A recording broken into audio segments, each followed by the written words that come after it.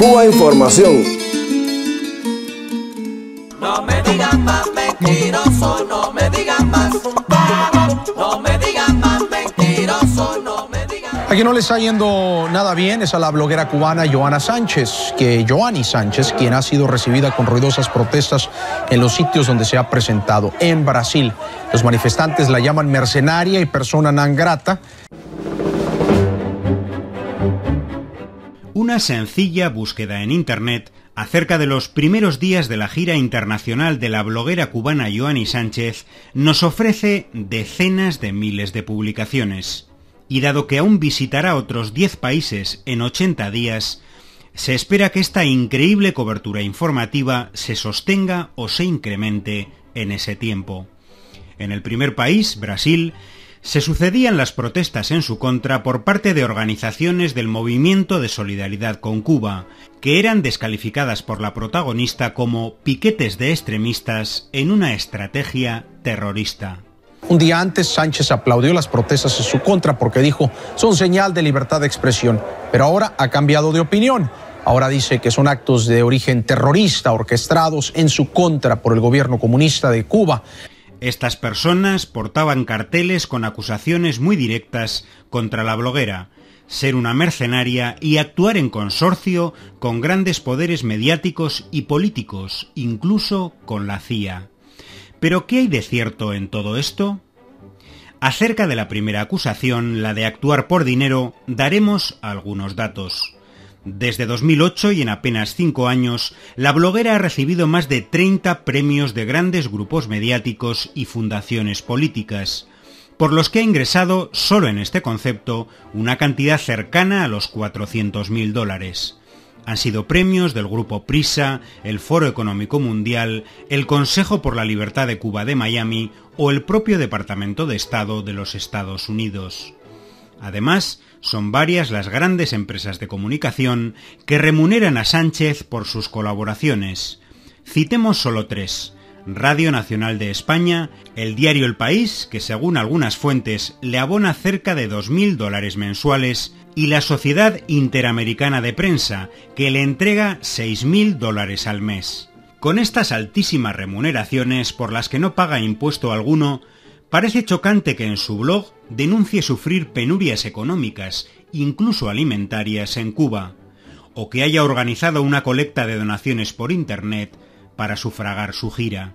He venido a Brasil en un boleto económico que se compró a través de la reunión de dinero vía Internet de varios bloggers y personas que trabajan en las redes sociales. Sobre la segunda de las acusaciones, la de actuar para grandes poderes en la sombra, daremos algunos datos. Joanny Sánchez tiene una estrecha relación con la Oficina de Intereses de Estados Unidos en La Habana, la SINA, que ha visitado en numerosas ocasiones. Fotografías, vídeos y cables revelados por Wikileaks muestran encuentros con diplomáticos norteamericanos, como el propio jefe de la SINA, Michael Pumley, o la subsecretaria de Estado Visa Williams, también con diplomáticos de varios países europeos, aliados de Estados Unidos y defensores de la línea de sanciones a Cuba como Polonia y Suecia. En 2011, un cable publicado por Wikileaks demostraba que su entrevista al presidente Barack Obama, que supuso un gran espaldarazo mediático para su blog, en realidad no fue realizada a Obama, sino cocinada por funcionarios de Estados Unidos en La Habana. En esta línea, su blog se mantiene libre de la aplicación de las leyes del bloqueo a Cuba. Por ejemplo, mantiene activo el servicio PayPal para cobro de donaciones, inaccesible a personas o empresas de la isla.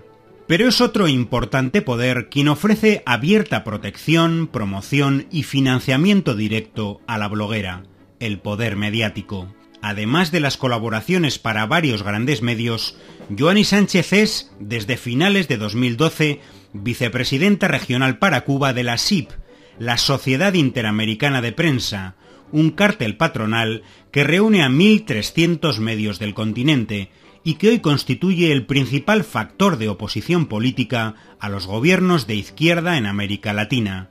La historia de la SIP en sus 70 años, está marcada por el apoyo a las dictaduras y los golpes de Estado en el continente. No es de extrañar que con semejantes apoyos su blog Generación Y goce de cierta popularidad, pero hay aspectos que apuntan a que este blog, lejos de ser una iniciativa individual e independiente, es en realidad una gran operación internacional con un extenso equipo técnico detrás. Por ejemplo, tiene 18 versiones idiomáticas, algo de lo que no dispone ni siquiera la web de Naciones Unidas. Está alojado en un servidor de Alemania cuyo ancho de banda es 60 veces más potente que el de toda Cuba. Y al menos 50.000 de sus seguidores en la red Twitter son en realidad cuentas fantasmas o inactivas, lo que hace pensar en la existencia de una estrategia de ciberacarreo o popularidad ficticia, un servicio especializado cuya contratación muy pocos se pueden permitir. Con todo ello, numerosos analistas apuntan a la construcción, desde importantes centros de poder, de un personaje opositor con rasgos atractivos para la juventud cubana y personas progresistas del mundo. Una mujer joven, usuaria de las redes sociales e independiente políticamente, que en sus crónicas extiende al mundo las limitaciones y frustraciones de la población en Cuba. Joanny Sánchez y los medios que la acompañan insisten una y otra vez en un mensaje central, la censura gubernamental a Internet en Cuba. Sin embargo, silencian varios elementos. Uno, que su blog no está cerrado en la isla. Dos, que la mala conectividad a Internet en Cuba es producto del bloqueo de Estados Unidos. 3. Que numerosos sitios web cubanos han sido cerrados por orden del Departamento del Tesoro de Estados Unidos y otros censurados por orden de empresas como YouTube o Google. Y cuatro, que los internautas de la isla no tienen acceso a páginas y servicios de Estados Unidos porque viven en un país prohibido por las leyes norteamericanas. Así lo narraba el escritor uruguayo Eduardo Galeano en una reciente visita a La Habana. Una de las formas de bloqueo, el bloqueo de las comunicaciones, que rara vez se, menciona, pero que es muy importante.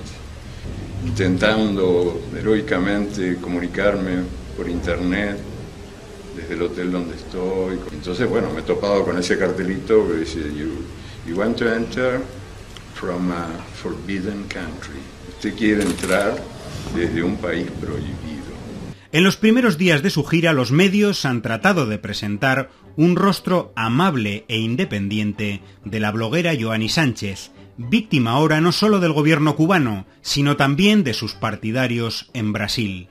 Y han pasado por alto, por ejemplo, algo tan relevante como el apoyo explícito de la bloguera a la política de injerencia y extorsión política del gobierno de Estados Unidos contra su propio país. Para restablecer relaciones con Estados Unidos hay una serie de requisitos necesarios que Cuba debe cumplir, declaraba. Pero la gira de Joanny Sánchez por más de 10 países no ha hecho más que empezar y dará sin duda para numerosos análisis. Y yo pensé, qué orgulloso estoy de ser casi compatriota de los habitantes de ese país prohibido. Porque el asunto está en preguntarse, prohibido por quiénes y prohibido por qué. Quizás prohibido que a pesar de todas sus contradicciones y dificultades, sigue siendo un ejemplo de dignidad nacional para los otros países, a veces ninguneados, pobres, pequeños, que no tienen derecho al patriotismo, porque el patriotismo es hoy por hoy el privilegio de los países mandones, de los, ricos, de los poderosos, que son los que juzgan a los demás y dictan sentencia. Y también por el peligroso ejemplo de la solidaridad que Cuba ha sido y sigue siendo capaz de practicar, practicar a pesar de sus condiciones de vida muy difíciles.